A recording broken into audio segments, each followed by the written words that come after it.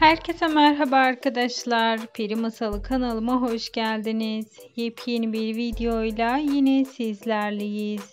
Sizler için sevilen dizi Ada Masalı'ndan yepyeni 10. bölüm kamera arkası paylaşımlar getirdik. Dizimizin çekimleri hızla devam ederken setten de yepyeni paylaşımlar gelmekte devam ediyor. Ada Masalı herkes tarafından beğenilerek izleniyor. Star TV ekranlarının bu yaz sezonu için en güzel dizisi diyebiliriz. Ratingleri de her hafta yükselmeye devam ediyor.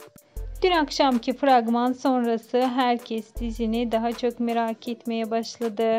Çünkü Poyraz ve Haziran arasındaki olaylar gitgide iyiye doğru gidecek. Şimdilik ise benden bu kadar arkadaşlar. Bir sonraki videolarımızda görüşmek üzere. Hoşçakalın.